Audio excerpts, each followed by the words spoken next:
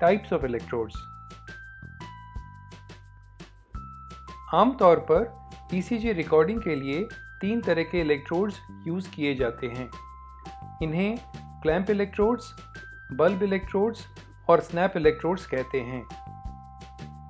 Clamp electrodes reusable limb electrodes होते हैं, जो कि ईसीजी जेली के साथ यूज़ किए जाते हैं।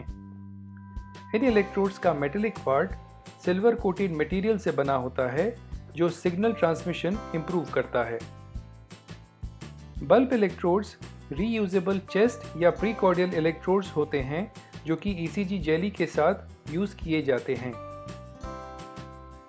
इनका मेटलिक कप क्रोम प्लेट से बना होता है और इनका बल्ब अक्सर सिलिकॉन से बनता है।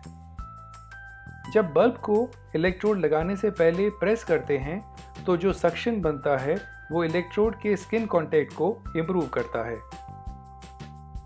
स्नैप इलेक्ट्रोड्स का कांटेक्ट एरिया अक्सर सर्कुलर होता है। इनमें लगा हुआ एडेसिव अच्छा स्किन कांटेक्ट प्रोवाइड करता है और silver silver chloride electrode clear signal transmission provide करता है।